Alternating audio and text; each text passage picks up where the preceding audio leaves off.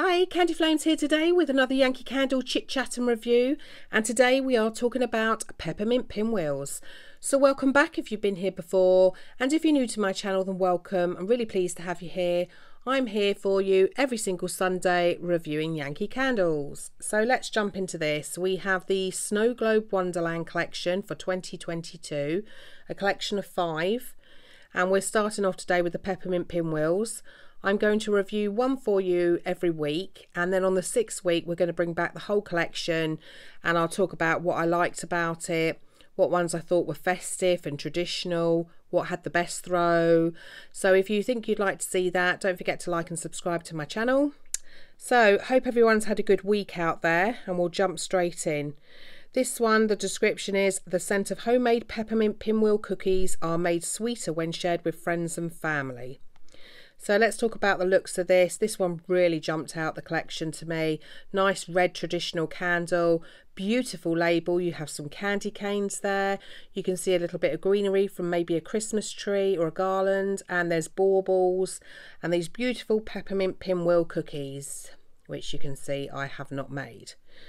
Um, so I was really interested in this one. I'm a big fan of peppermint uh, and all minty smells. I love them because I find them clean. Um, they sort of waken you up. I like them in the kitchen because I find that they can mask cooking smells. And if you've cooked anything that's a little bit strong, it's great to have a peppermint candle. It really does help to get rid of them all. So um, the notes we have top notes of sparkling peppermint, melted butter, and sea salt. We have mid notes of kettle corn, crushed candy cane, winter mint, and we have base of whipped vanilla, dark chocolate, and frosted spearmint. So when I heard about the notes in here, I just couldn't wait to try this one. So what I will say on a cold sniff, you can smell the peppermint, but there is this um, cookie note. Uh, it could be also coming from the kettle corn, the popcorn there, but there is this, if you know Yankee Candle, then you'll know what I mean when I say that there's a baked note, like a cooking baked scent to it. Um, some people love this, and other people I know are not so keen on this note. But there is this um, this cookie note in there. I find it quite nice. I do like the bakery scents that Yankee Candle do, but as I said, I know that some people um, do not like that baked note, and you know, if you if you know Yankee Candle of old, you will know what I mean. So you can get that cookie note there. When I lit it up, um, it's very well blended. You can get the peppermint there, definitely can get the peppermint, and um, I can definitely get this buttery smell. So you've got the melted butter there, and I can get that sort of buttery, salty, buttery smell. Um, then you've got obviously the kettle corn, which is popcorn. You've got this more mint. You've got the crushed candy canes, the winter mint going on. You've got this vanilla, which is to keep it sweet. Um, I will say I don't find it sweet enough. I can smell this very sort of cookie peppermint smell. I would have maybe liked it to be a little bit sweeter. Unfortunately, I cannot get any dark chocolate. I would have loved to experience that. Um, and the frosted spearmint, yes, that sort of goes in the category of the mint smell. But it is, um, if you're looking for a fresh mint, a real sort of minty mint candle, this isn't it because the cookie note there, like I say, is very dominant. This cookie, this melted butter, kettle corn, sea salt. So it is, them two are the more dominant smells, the peppermint with, with the cookie and uh, butter smell. Um, it is nice. It's uh, very pleasant, and I do find it actually quite festive, quite traditional. Um, I always love at Christmas time these beautiful smells of Christmas cooking or sweets going on, and this one does fall into that category. I really do love my foodie candle, so I knew I was going to like this. Um, and I do like it. And would I repurchase it? I think at the right price, maybe I would.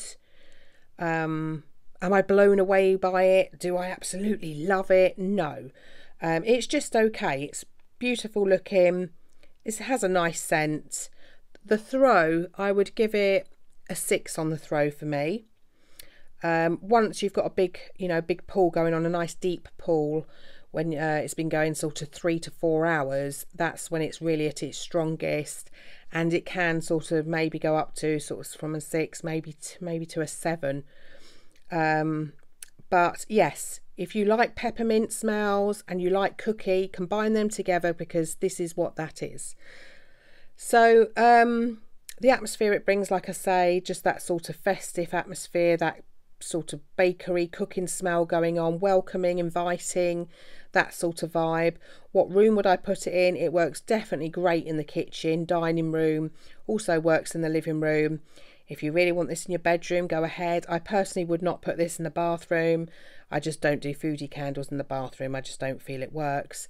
But um, yeah, this could go in any room of your house. So it's quite versatile. Very nice looking candle. So if you have tried this one, let me know what you think. Um, was you blown away by it? Is it just okay? Let me know and I will get back to you in the comments.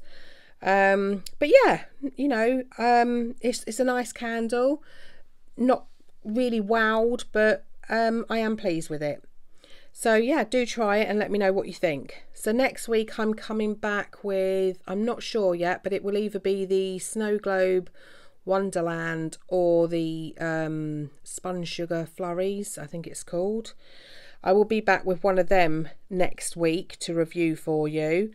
Then I will be coming back with, because uh, I've got to buy the other two yet. I am going to get the, I think it's the Winter Night Stars, is it? I'm going to get that in the tumbler version. Um, because I have heard that is Winter Night Stars. Yes, I have heard that one is slightly weaker um, and I want to experience one of these tumblers and I'm going to trust all the reviews out there that it is quite poor on the throw. So I'm going to go for that one in a tumbler and see if that makes any difference. But the rest will all be in this original jar. Let me know if you've tried any and what you think to them. But yeah next week I'll either be back with Snow Globe Wonderland or I think I might do that one. I'm not sure. Spun Sugar Flurries we'll see.